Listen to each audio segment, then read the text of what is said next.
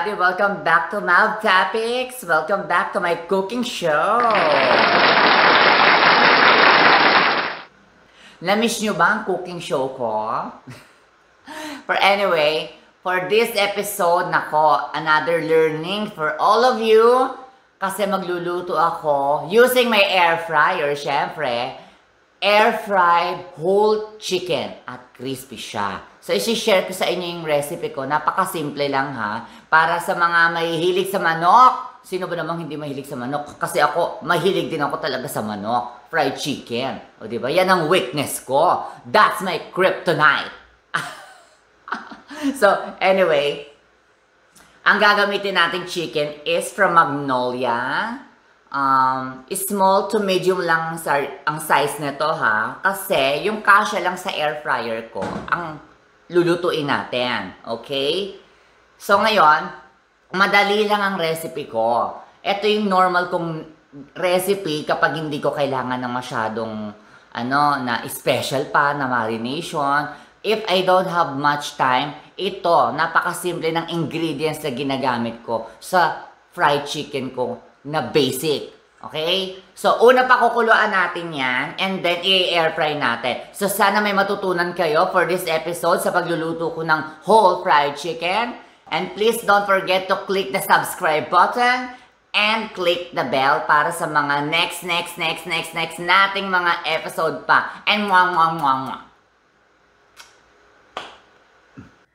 So, eto na yung chicken natin. Medyo malaki pala siya sa in-expect ko. Yung tinanggal ko siya dun sa magnolia wrap, no? Yung nakabalot pa siya. Like kung pinapaalala, always wash our hands before, during, and after cooking. Very, very important yan.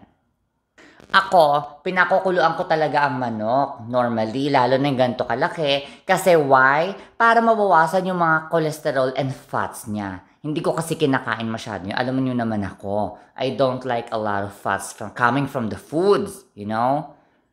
Pwede na nating ilagay yung chicken natin kasi umiinit yung water. Okay? Hayaan lang natin yan hanggang sa kumulo. So, ayan, kumukulo na siya. Pahinain na ng konti ang induction cooker. Balik rin natin. Check natin. Ayan. O, diba? So, nakita nyo kung bakit ko gustong pinakukuluan ng chicken. Ito ang rason. This is the reason why gusto ko talagang pinakukuluan ng chicken. Can you see that? This, ayan, yan yung mga yan. Yan ay mga fats, cholesterol. Yan ang hindi ko gustong kainin. Okay? Yon.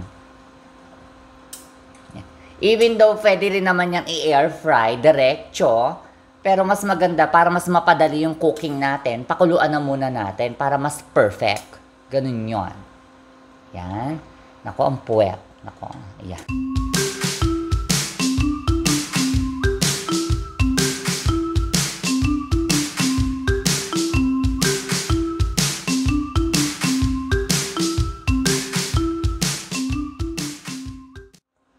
I think it's ready. Ready na yung chicken natin. Patay na natin. Off. And then, ilagay muna natin siya sa separate bowl for marination. Kasi imamarinate na natin siya.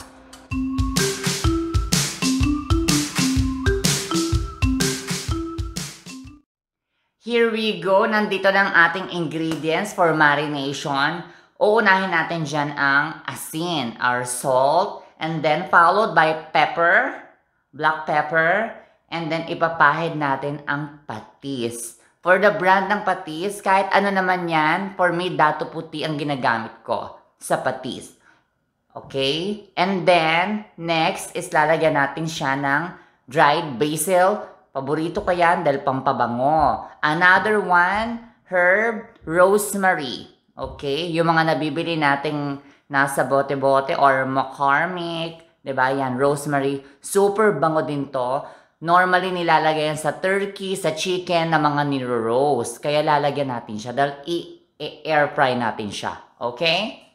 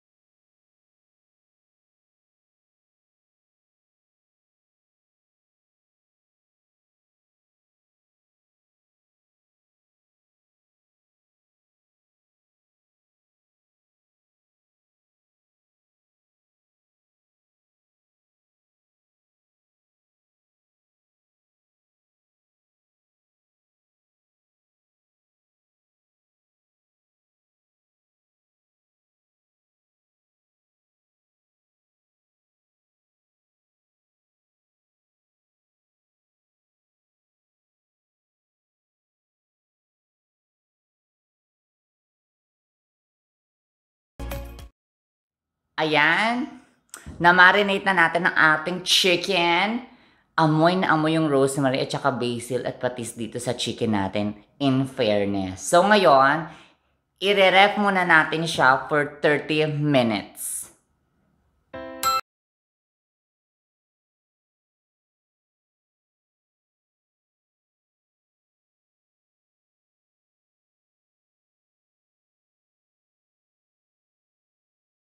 So, eto na siya. After 30 minutes, abay, ang lamig, Diyos ko. So, ngayon, dahil na-marinate na natin siya at nababad na for 30 minutes, medyo haluin natin siya or ikutin natin siya, ganyan. Tapos, yung mga sauce sa ilalim, ipahid natin.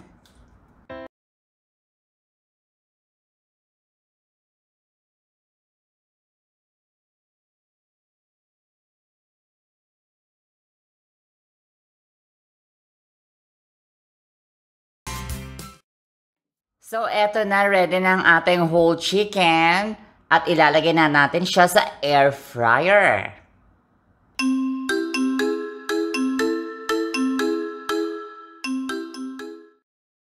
Okay, let's do it. Here we go. Lagay na natin siya sa air fryer.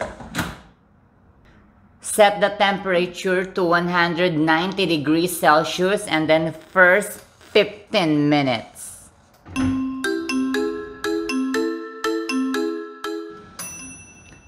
OMG, ayan na. Tapos na ang first 15 minutes natin sa whole chicken natin.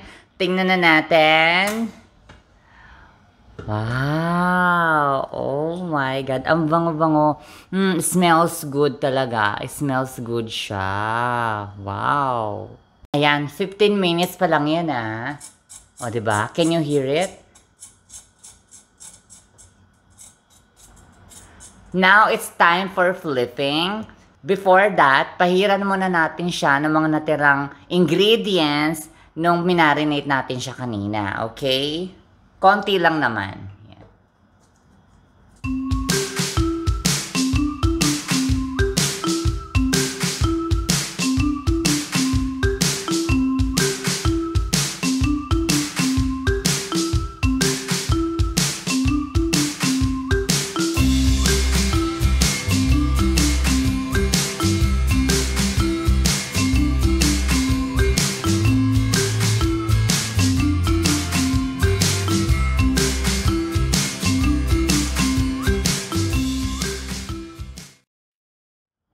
Let's do it again. Another salang. Same temperature, another 15 minutes. And that's also the final 15 minutes. So, total cooking time is 30 minutes.